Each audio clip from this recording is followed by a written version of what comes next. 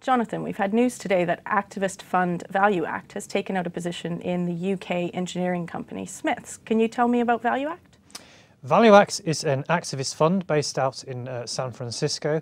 Um, it's a bit different, it says, from the usual sort of breed of activist investor whose uh, modus operandi is to buy some shares, jump up and down, make a lot of noise, and then uh, as soon as as soon as they get their way to, to sell out at a big profit.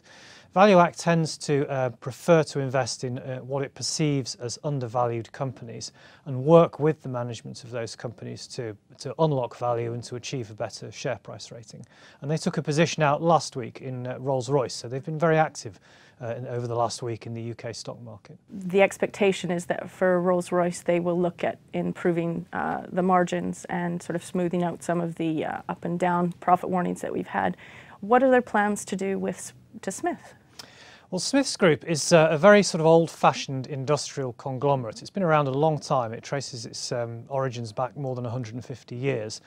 and it has five uh, divisions, uh, which in some ways are very unrelated. So, uh, for instance, one division makes uh, airport security products, another makes medical devices, uh, another makes seals and components used in the, primarily in the oil and gas industry. Uh, critics of the company say that there's precious little synergy um, between all of these divisions and that, um, that, value could be unlocked by perhaps selling uh, one of them, particularly the medical devices division, uh, to a company where it might form a more natural fit. And it's a kind of a, a sum of the parts uh, sort of argument. And it's widely expected that, um, that ValueAct will, will try and help them achieve that. Why haven't Smiths done that before if it's such an obvious change?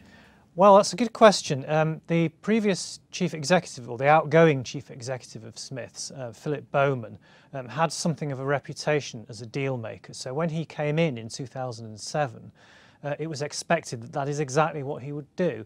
Um, the fact that he hasn't done it uh, in large measure down to the fact that the company has a substantial pension fund deficit any material disposal of an asset or a business would probably trigger a demand uh, for a cash infusion uh, to top up the pension fund. And the fact that that's become such a problem uh, is largely down to the sort of collapse in bond yields uh, since the start of quantitative easing. It's really tied his hands behind his back when it comes to mergers and acquisitions.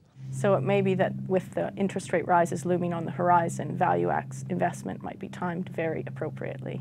Thanks very much, Jonathan.